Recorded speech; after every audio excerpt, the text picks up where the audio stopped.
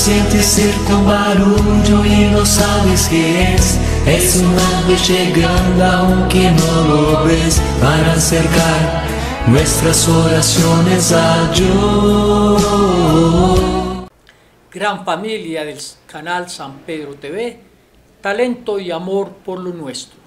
Bienvenidos a nuestro programa hoy, fortaleciendo el hogar y la familia del mundo de hoy con el Padre Oscar.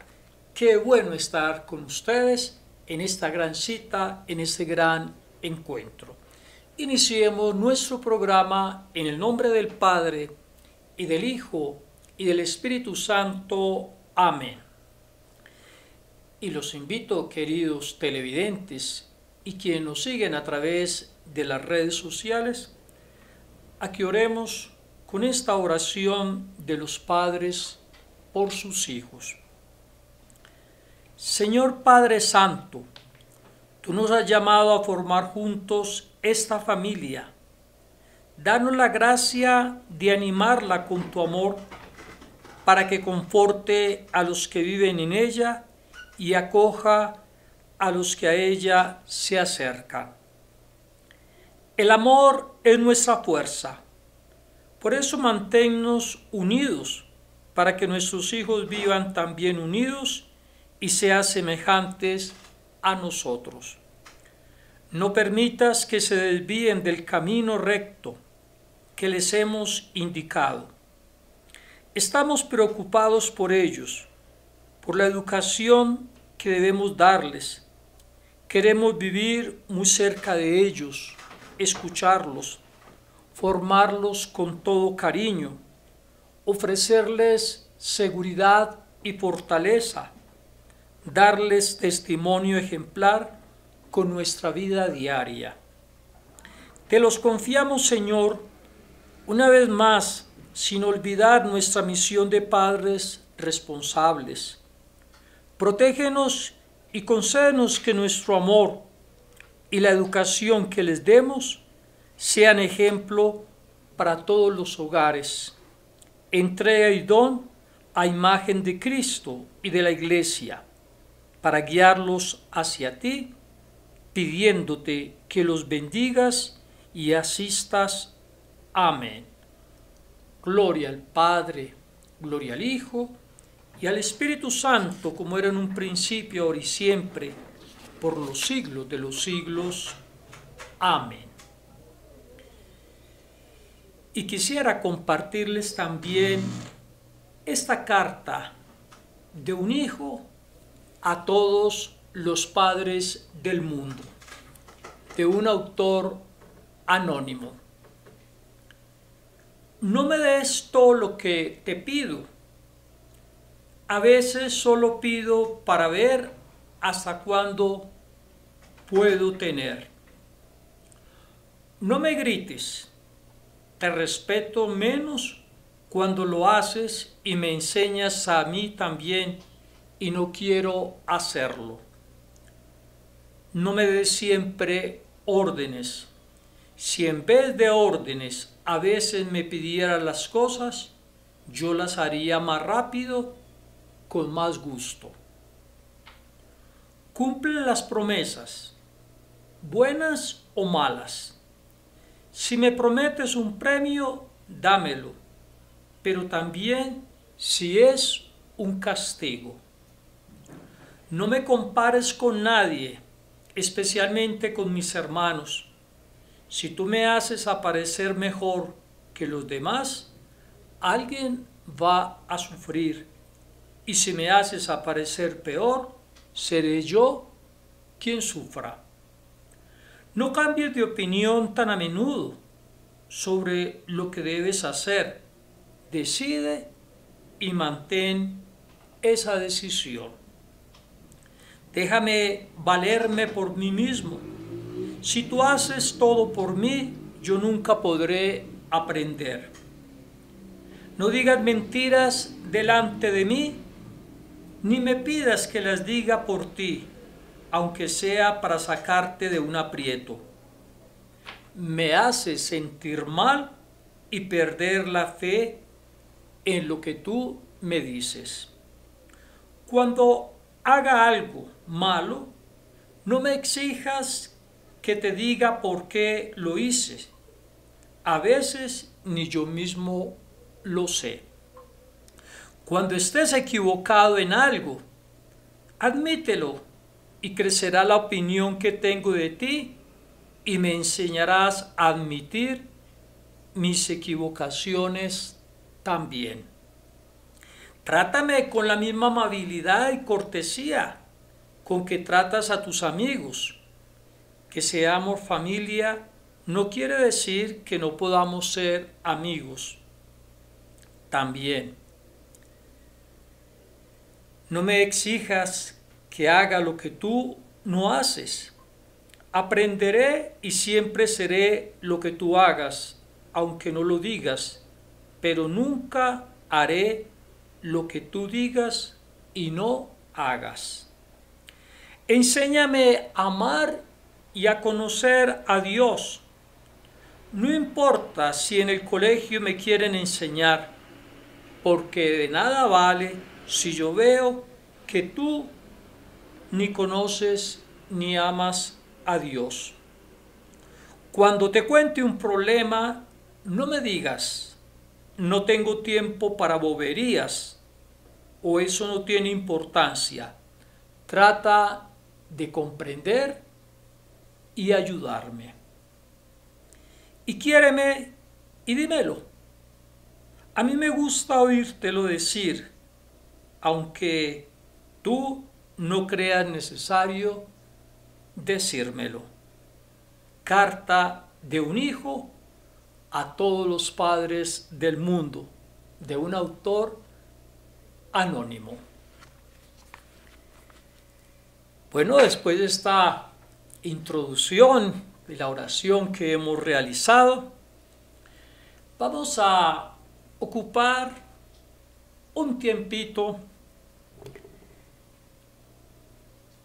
en enseñarles cómo hacer de una manera práctica, de una manera sencilla, de una manera pedagógica, cómo hacer nuestro famoso PDF, cómo realizar el proyecto de vida familiar. Si hemos venido hablando de todo este tema en este programa y también el próximo jueves, si Dios quiere, vamos, les voy a enseñar de una manera práctica, sencilla, que entiendan cómo realizar este proyecto de vida. Y ante todo pensemos, lo vamos a realizar sea en una cartulina donde vamos a colocar nuestros propósitos, nuestros objetivos, nuestra misión, lo que queremos alcanzar bien durante este año. O lo podemos también escribir después de estar en grupo con toda la familia, dando las ideas, aportando.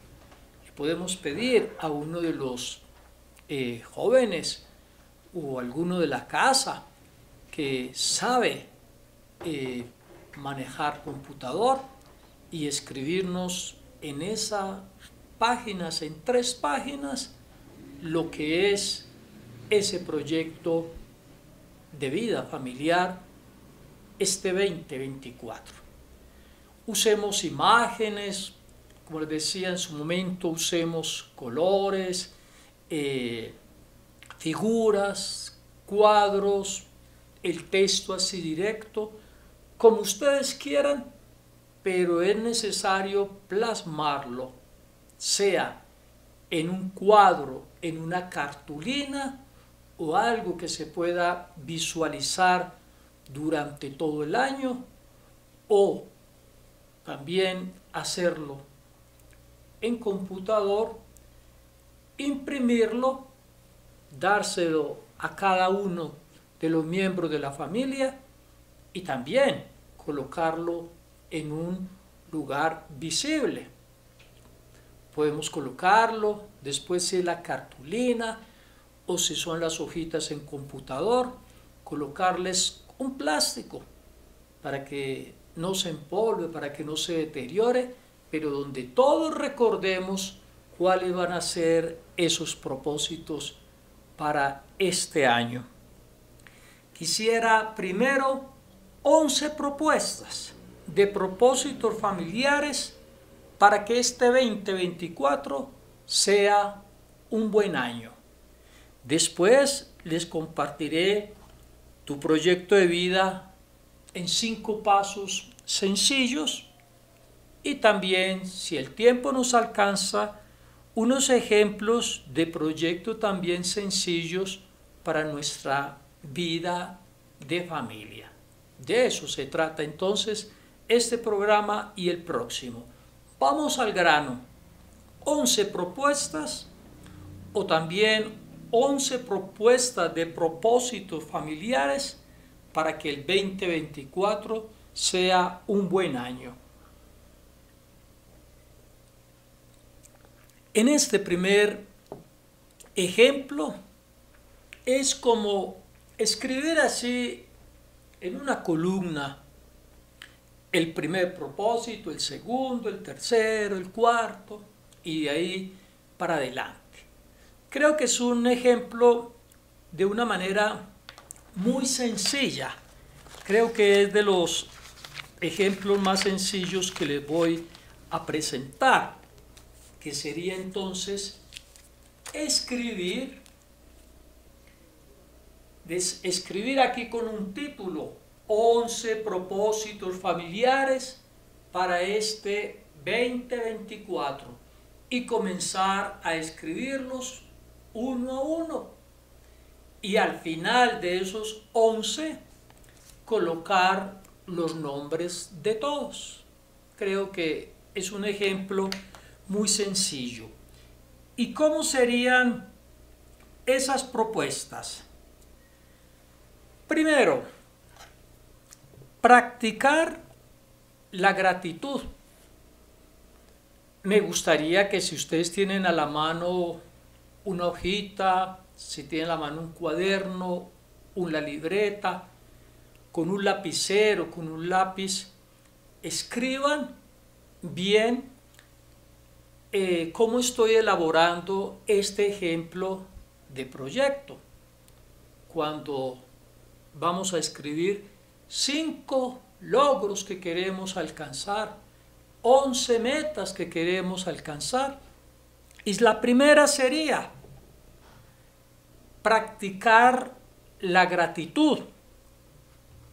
Que podamos escribir, practicar la gratitud. Si vemos que en nuestra casa y entre los miembros de esta familia, de esa familia, está faltando ese practicar la gratitud, sea el primer propósito. Y así, de esa manera, practicar la gratitud, punto. Si algo nos recuerda cada fin de año es reflexionar sobre todas las cosas que sucedieron en 365 días que han pasado. Solemos agradecer y recordar los buenos momentos, pero ¿qué tal si lo hacemos algo constante? El estar dándole gracias a Dios y a los otros por aquello que recibimos de Dios y de nuestra familia como propósito, pueden comenzar a practicar de manera activa esa gratitud. Poder decir gracias, saber reconocer los pequeños detalles de la vida para dar gracias. Una segunda meta, un segundo propósito, una segunda propuesta Aprender, pueden colocar segundo, aprender juntos sobre un tema que les interese. Y ya que estamos hablando de tiempo en familia, ¿qué tal si nos proponemos aprender algo juntos? Esa idea es que en particular podemos eh, escribir cómo, qué, qué temas queremos qué temas queremos conocer, qué temas podemos profundizar. Esta idea es una que en particular nos debería encantar, porque aunque no nos parezca, padres e hijos pueden aprender mucho de la experiencia de los unos con los otros. Podemos elegir un tema del que todos conozcamos un poco y profundicemos más sobre ese tema. Eh, se puede hacer una lluvia de temas. ¿Cuáles son los temas más desconocidos? ¿Cuáles temas nos pueden interesar en familia? ¿De qué temas mm, desconocemos absolutamente todo? Es ahí, en esa propuesta segunda, aprender juntos sobre un tema que interese. Tercero, leer más, ¿sí? Leer más es colocarnos esa meta, ese propósito de que también es genial y nos va muy bien como familia dedicar tiempo en este año 2024 a la lectura. Hoy no es de tener la posibilidad de comprar muchos libros. Se usaba en otro tiempo más los libros, pero no queda de más conseguir un libro que alguien de la familia pueda leer o que podamos leer juntos. ¿sí? Puede, ustedes pueden estar pensando, pero, pero padre, Oscar, todos esos temas o todos esos propósitos los tenemos que hacer todos como familia. Eh, quiero hacer aquí una aclaración, que de estos propósitos o de estos logros que queremos alcanzar en este ejemplo de un proyecto de vida es los que ustedes vean más necesarios. Aquí puedo estar presentando 11 propósitos, pero si ustedes quieren colocar solamente 5 que ven más necesarios de los que yo estoy mencionando, pues coloquen esos 5, pero que sean para realizar. Cuarto propósito, mantener activos en familia lo repito, mantener activos en familia. No debemos olvidar que si bien ver una película o leer un libro juntos son forma de pasar un tiempo en familia, también debemos recordarnos la importancia de tener un ritmo de vida activa en beneficios de nuestra salud. Hay muchas formas en las que podemos mantenernos activos en la familia, desde bailar juntos, en casa, salir, caminar, eh, practicar algún deporte, hacer algún ejercicio juntos, el ayudar a hacer los oficios domésticos, barrer, trapear, hacer un aseo general cada 15 días de limpieza, sacar el polvo de las cosas que hay en nuestras casas, es un propósito de que la familia se mantenga activa y vamos a cuidar de nuestra salud, vamos a cuidar de, de nuestro bienestar. Sería interesante en este propósito mantener a nuestros abuelos y a nuestras personas mayores de casa en actividad, que vamos haciendo una actividad para no oxidarnos, que vamos haciendo alguna actividad para que estar, que la sangre nos circule y estar activos. Vamos a un quinto propósito, crear y mantener una tradición. crear y mantener una tradición. ¿En qué consiste este propósito? Cuando formamos una familia, papá y mamá traen ciertas costumbres y tradiciones que solían hacer con sus padres, que solían hacer con nuestros abuelos. Y aunque es lindo ver cómo los hijos disfrutan hacer aquellas cosas que solían hacer de pequeños, también es lindo y creando nuestros propios rituales, nuestros propios, nuestras propias costumbres y prácticas. Yo recuerdo cuando estaba eh, niño, como con mi mamá íbamos mis, y mis hermanos, íbamos los domingos en la tarde a visitar a nuestros abuelos maternos. Y era una tarde que compartíamos con ellos, una tarde que la abuela nos hacía un buen chocolate, eh, compartíamos empanada, compartíamos buñuelos y ellos, nuestros abuelos, nos contaban una cantidad de historias de cómo eran los papás de ellos, que dónde vivieron primero, cuántos hijos eran, una cantidad de, de asuntos de la historia, en las costumbres de nuestros antepasados que los más chicos aprendíamos, hoy yo lo recuerdo como si fuera ayer y trato también de compartirlo con, con mis sobrinos o con mis hermanos menores que no tuvieron la oportunidad de ir allí una tarde domingo a compartir con nuestros abuelos maternos. Así que un propósito de este año nuevo, que puede ser emocionante para todos, es iniciar una tradición nueva que repetiremos ocasionalmente. Puede ser cada mes, cada año o el tiempo que elijamos, que se convierta en algo propio y parte de nuestra identidad familiar.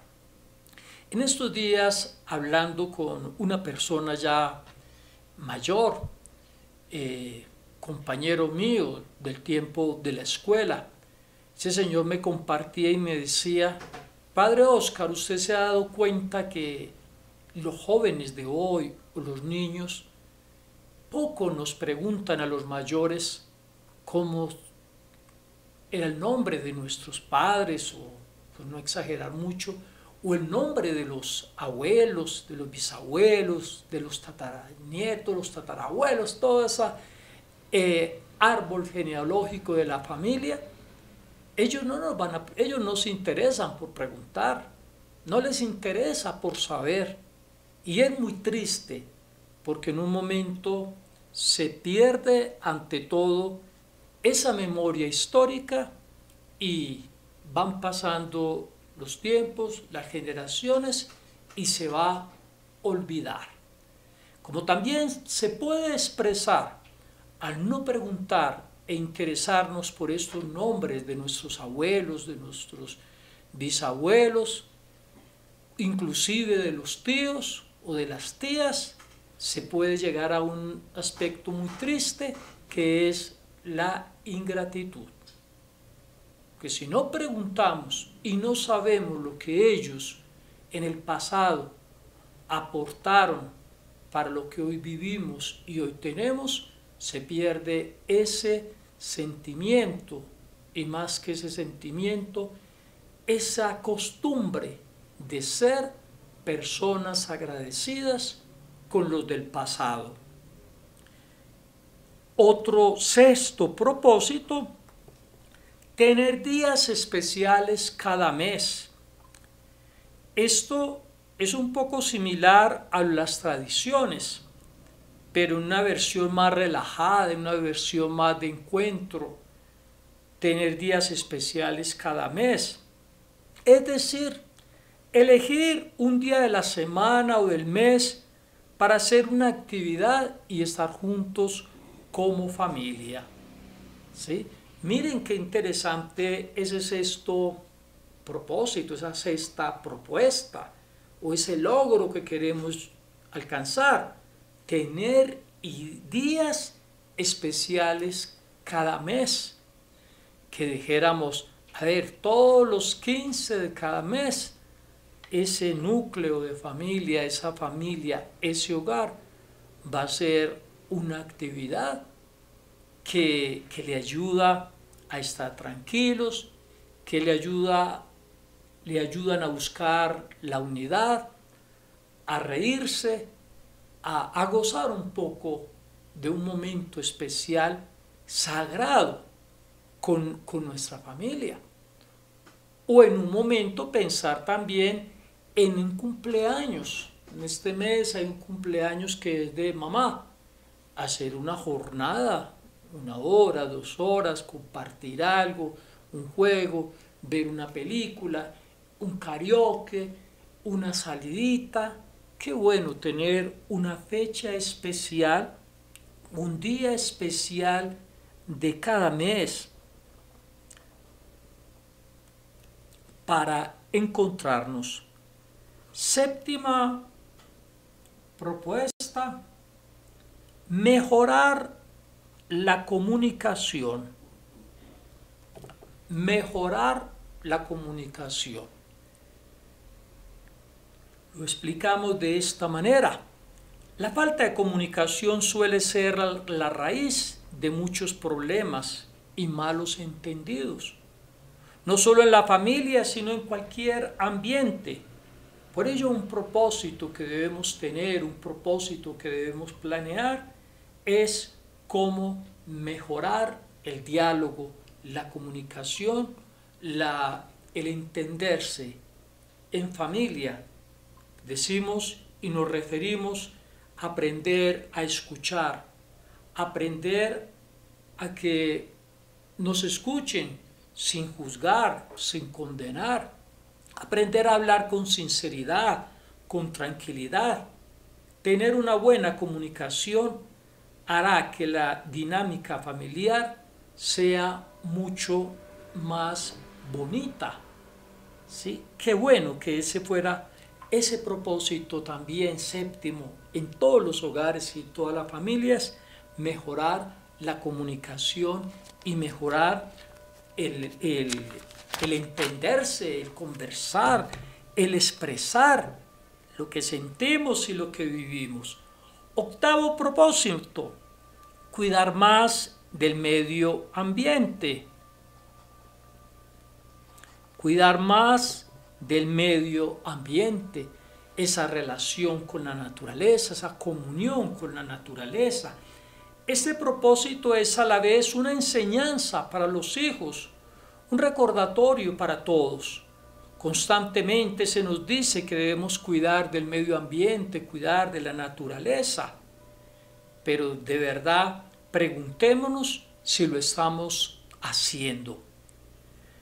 Pensar en, en este propósito, en el cuidar más del ambiente y de la naturaleza, reciclar en casa, plantar un árbol, no tirar basura, cuidar de la cantidad de agua que usamos en la casa, alargar la vida de nuestra ropa, disminuir el uso de plástico.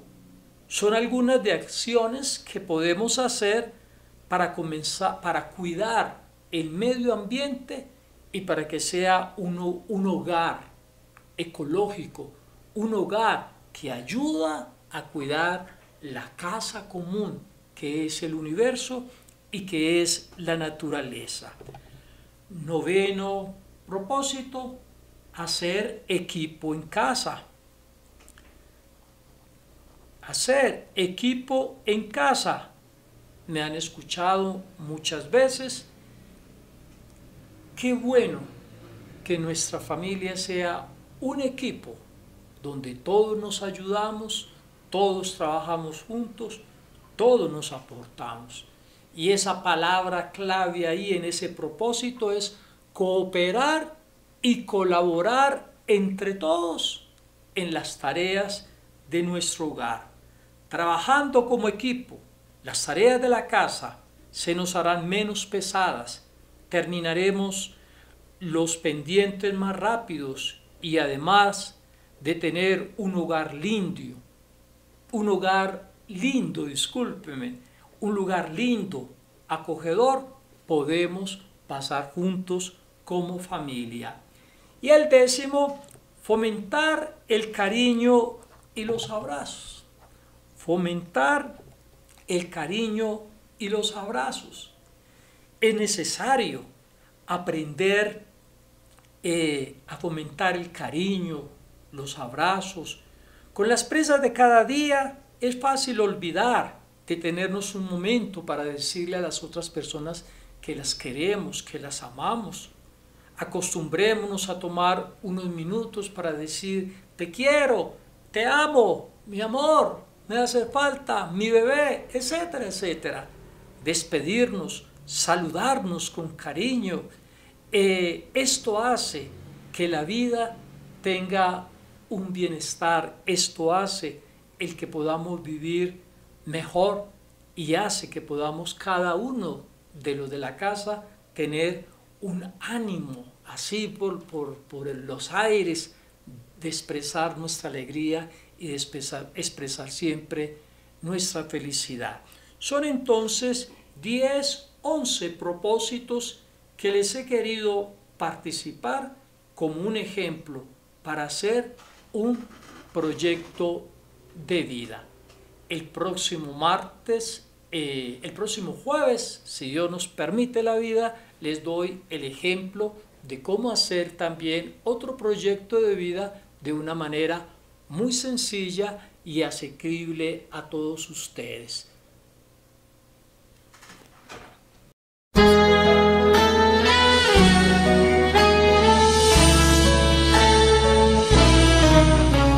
Si tú sientes cerca un barullo y no sabes qué es, es un ángel llegando aunque no lo ves para acercar nuestras oraciones a Dios.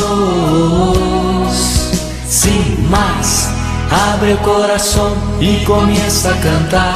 Que no hay gozo más grande que el amor celestial y los ángeles ya vienen a celebrar.